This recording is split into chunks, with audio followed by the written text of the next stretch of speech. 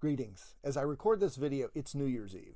I'd like to start off by wishing you a very happy new year, a happy, healthy, and prosperous new year in 2019. Hopefully, your best ever.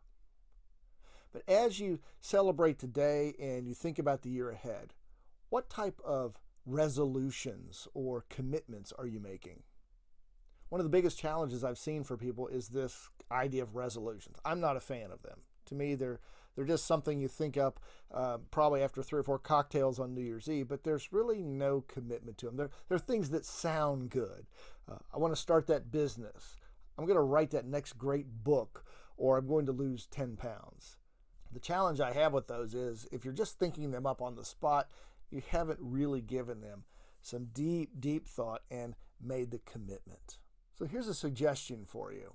Rather than make a bunch of resolutions that you know are not going to get accomplished, why not commit to one specific goal this year? Make it a big one. For example, I'm in the middle of creating an online course that I'll make available in the first quarter, uh, both on my website and through webinars. After getting involved in that, I decided I want to make three courses by this time next year. It's a pretty big goal. Will I be able to do it? Well, I'm committed to it, and I've already started to lay the plan in place. I'm writing scripts, I've got all my recording equipment. Is that a big goal? Yeah, it is, because I still have to uh, create business, coach my clients, and speak. But it's something that I'm committed to doing, and I'm not adding any more to that plate. If I happen to get those done in time and can add another, that's great.